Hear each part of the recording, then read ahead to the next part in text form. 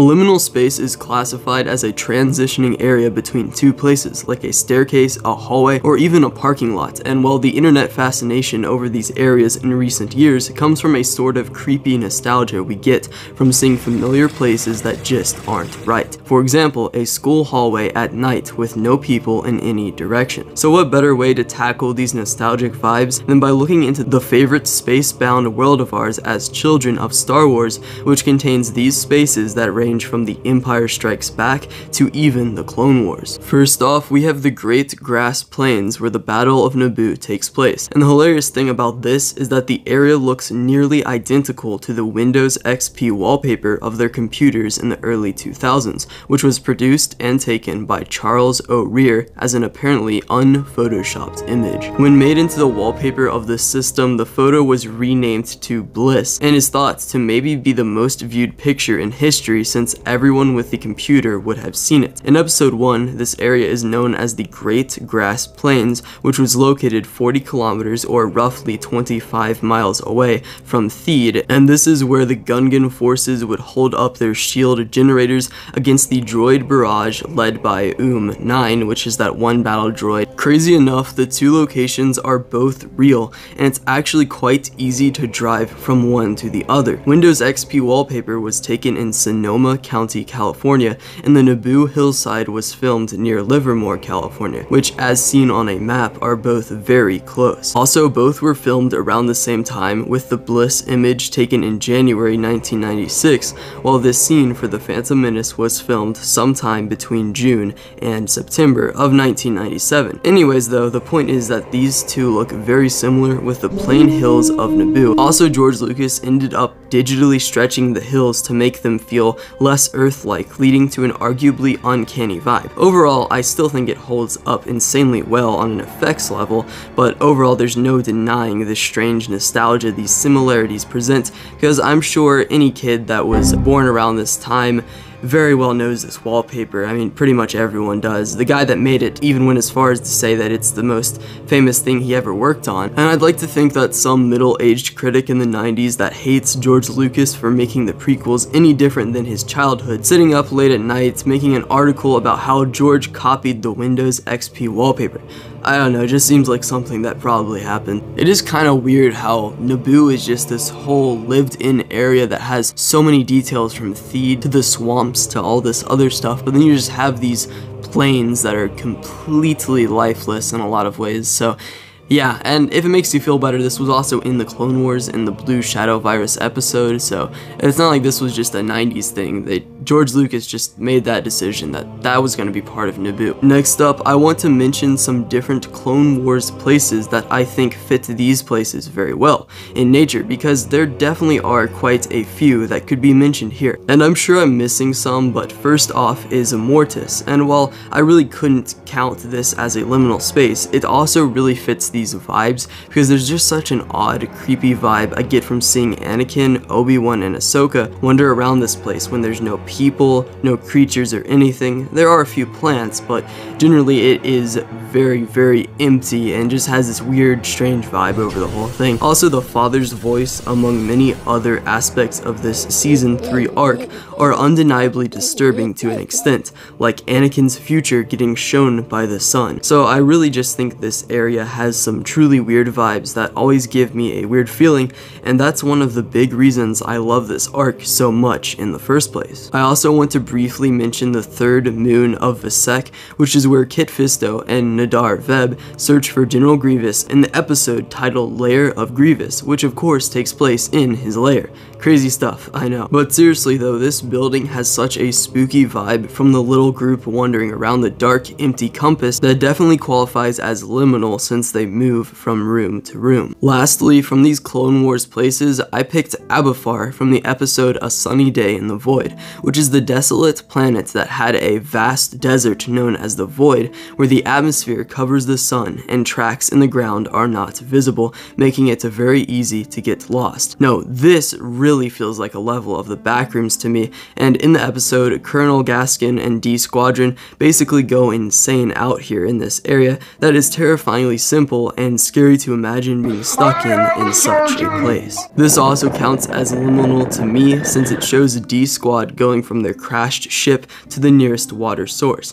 The 1971 George Lucas movie THX 1138 served as inspiration for this episode due to the void scenes in that movie, which are in and of themselves quite liminal and old too. Again, it's like poetry, so if they rhyme, Mm-hmm. Every stanza kind of rhymes with the last one.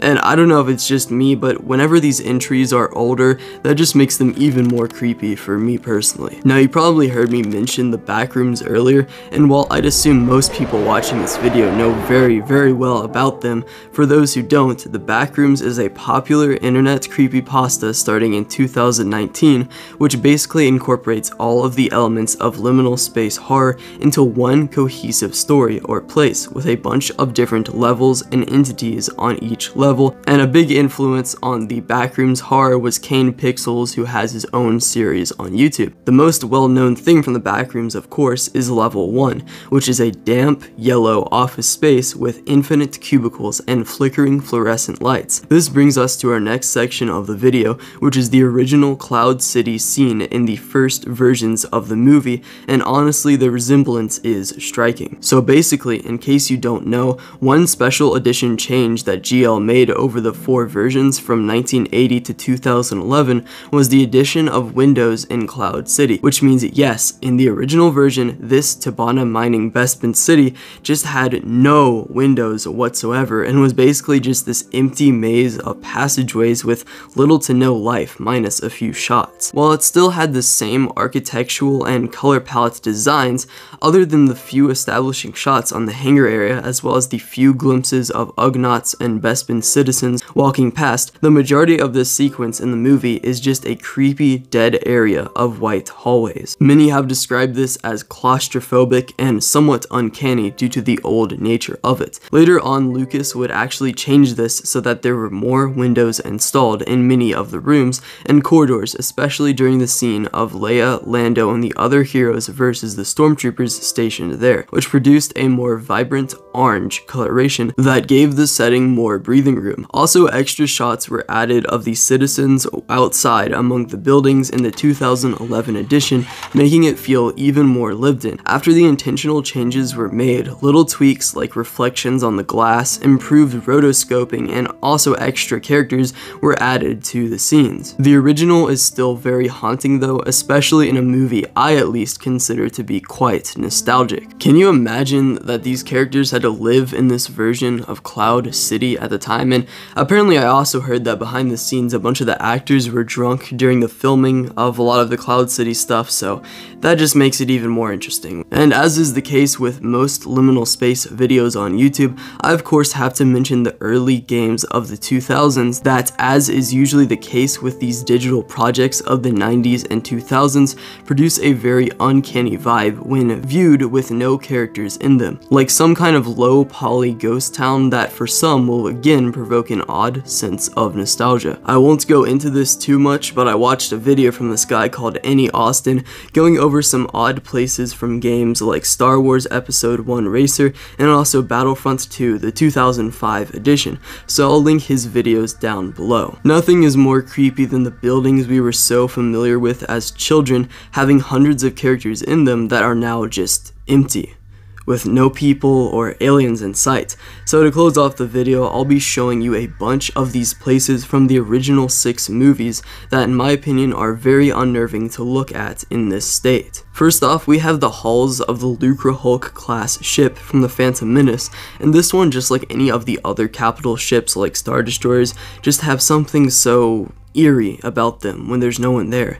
It's just like we're in some huge mall that's empty and we feel lost or like we shouldn't be in here. You almost get this vibe in the Lucrehulk level from Jedi Survivor, but unfortunately Cal is there to ruin all the fun, so thanks Cal. Next up we have Kamino, which just feels so weird without the tall-necked Kaminoans walking around, and also the Grand Republic armies patrolling the training areas. And believe me, those guys already looked zesty as it is, but at least they could keep you company if you were here. Some areas from Revenge of the Sith that produce these same feelings are Mustafar, the Jedi Temple, and the Invisible Hand. It just makes you feel like you're by yourself in this dark ship as the Battle of Coruscant is going on around you, and you're just utterly alone. Also, the Death Star would be very creepy with no one there, and can you just imagine the lights going out too with just some emergency red ones in the distance?